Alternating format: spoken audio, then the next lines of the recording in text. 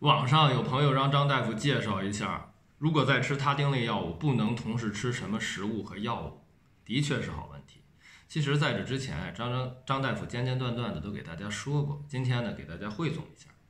首先说，如果你在吃他汀类药物里面的辛伐他汀、洛伐他汀、阿托伐他汀，尤其是辛伐他汀和阿托伐他汀用的多，这三种他汀呢，都经过肝脏的一个酶系统，叫做细胞色素酶 P 四五零三 A 四来代谢。如果说你正在吃这些他汀，尽量不要吃西柚。红心柚子或者说柚子类水果，我们尽量都不吃。为什么？因为这类水果含有呋喃香豆素，它可以影响到这个酶系统，导致呢这种他汀代谢不掉啊，或者说呢副作用的发生明显增多。这是食物啊，大家好多都知道。那么药物哪些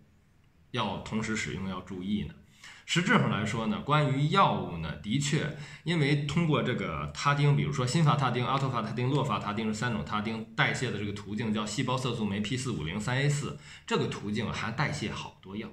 比如说氨碘酮、维拉帕米，这是心脏科的药，你看他克莫司，其他科的药，红霉素、阿奇霉素、福康唑啊、伊曲康唑等等等等。